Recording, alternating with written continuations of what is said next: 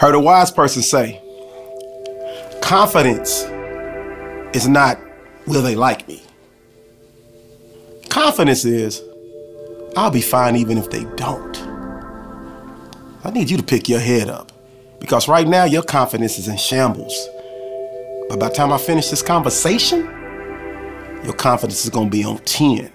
Your confidence is going to be out of this world because you, my friend, are about to receive a self confidence boost. The first thing I need you to do is destroy, and I mean shut down the stinking thinking and the negative self talk. Before you even get started, you're already talking yourself out of it. I can't do that. It can never happen for me. I'm telling you right now to your face, yes, it can. You have to believe in you more than anybody else ever believes in you. That's your number one downfall. I need you to pick yourself up. I need you to get your head up high. And no matter what you're doing, believe in you. Because you can do it. You will do it. No matter what it is. Oh, I hear you. I hear you.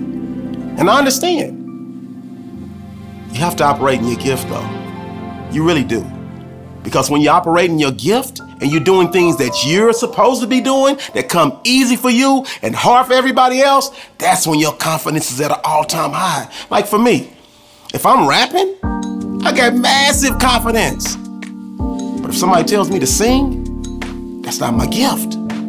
So I'll struggle with that a little bit. But here's the deal even if somebody asks you to do something that pushes you, that stretches you, those are not things that you have to measure yourself based on confidence. You measure yourself on whether you did it, whether you tried, whether you gave effort. And if you gave effort and you tried, that should give you all the confidence in the world to do the next thing. Another reason why your confidence is so shot is the people you're hanging around. I need you to reside in a positive atmosphere. I need you to reside in a confidence built atmosphere. That means you got to hang with people that boost you up, that push you. I say, go you, go you, go you. It's kind of like, like when I'm watching Family Feud, right? And they ask the question. And somebody on one of the families gives the most silly answer, stupid answer, ain't no way it's gonna be up on the board. But everybody on their team is like, great answer, great answer. Just boosting them, boosting their confidence. You need to hang around people like that, that are gonna push you, that are gonna boost you, that are gonna give you all the confidence in the world. Because when you find self confidence in yourself, and those people that you hanging around give you self confidence, you're an unstoppable force, and you walk with your head held high.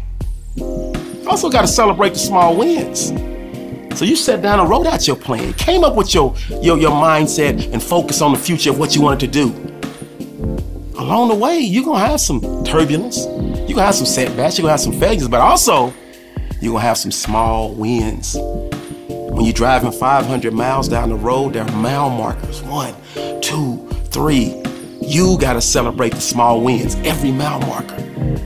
When you achieve a small goal, remind yourself, I got that done. Yeah, I did that. Stick your chest out. Put your head up. That way you stay confident. Mile one, mile two, win three, win four. Before you know it, you are arriving at your destination of success, your destination of next level, your destination of the goal you set to achieve. Self confidence all starts with you. So do yourself a huge favor and believe in yourself. Don't let fear or doubt creep into your system. Because remember, fear cannot live in a space that confidence occupies. So you are the one. You have everything in front of you. Your future is bright. You are a diamond. I just need you to walk with your head up and understand that no matter how you feel, self confidence lives in you.